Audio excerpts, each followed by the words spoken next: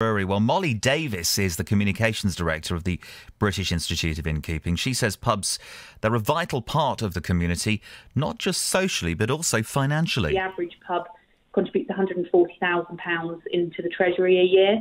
So if those pubs are disappearing, you've got jobs disappearing, you've got tax revenue disappearing. So the loss, the loss of pubs is huge. But there are pubs that are surviving. How are the ones that are doing well managing to keep their head above water? One of the things that we've seen our members really doing to kind of survive, I guess, is, is to change the offering. So they've moved into, in lockdown and since to deliveries and takeaways.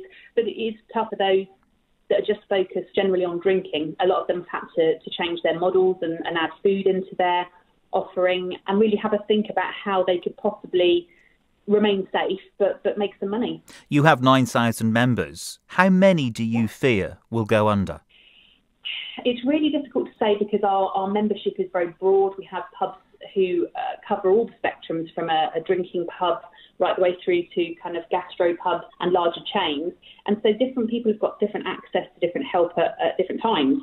But across hospitality, before the further help that the Chancellor announced last week, the sector itself was looking at job losses of 750,000. That was what we were facing. Certainly, the, the fact that the additional help for, for people in tier two has come down the line will, will help people to keep the lights on, I guess, and, and help them to maybe hibernate their businesses over winter. If they're in tier three, they can close and and their staff can have you know 67% of their wages paid, which keeps them body and soul together.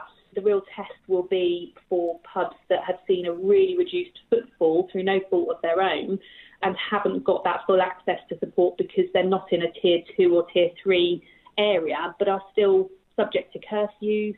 So they've lost whole sittings of restaurants and sort of meals that they were serving and also just you know people not coming out because they are impacted financially because they can't afford to go out or because they're you know trying to keep safe and, and about, uh, abiding by the rules that government have put in place. Molly Davis there talking to me from the British Institute of Innkeeping.